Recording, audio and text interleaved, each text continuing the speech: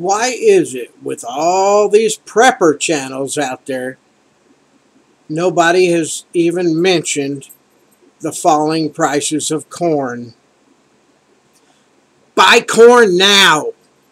Now is the time to buy corn. For some unknown reason, corn has dropped like it was like nearly $10 for 50 pounds. Now it's down to almost $7.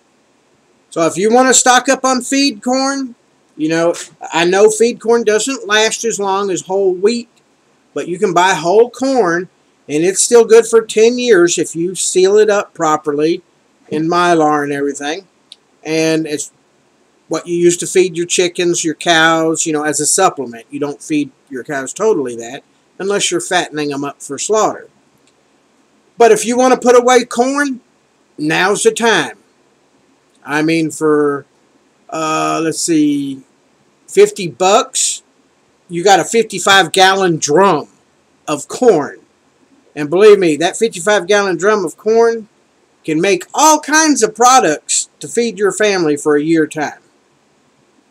I mean, you can make, I, it's just unbelievable the different things you can, once you crush it up and grind it up, uh, cornbread, corn flakes. It, it just you can just make everything out of corn.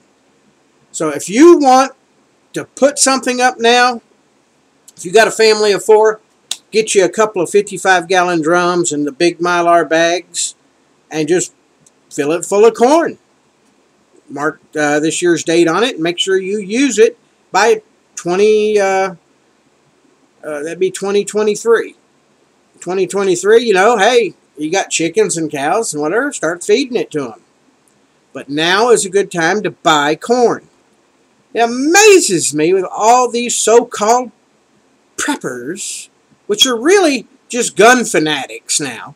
These are gun fanatic, uh, what do you call them, um, uh, bunker types, the ones that are going to hide and survive the end of the world by themselves.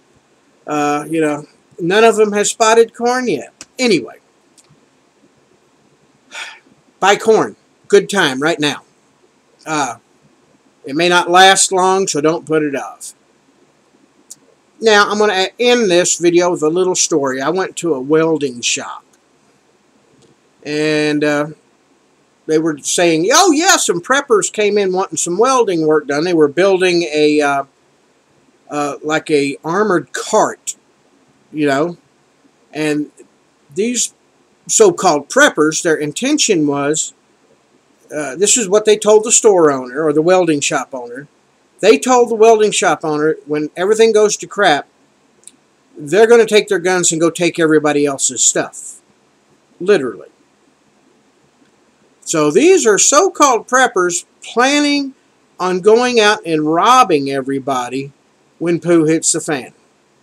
Isn't that, that's why I'm not, I don't even consider prepper movement anymore. Just go homesteading. That's the way to do it. Just be a homesteader. Study homesteading and stuff like that, self-sufficient living. That prepper movement has gone off to be a bunch of nutcases.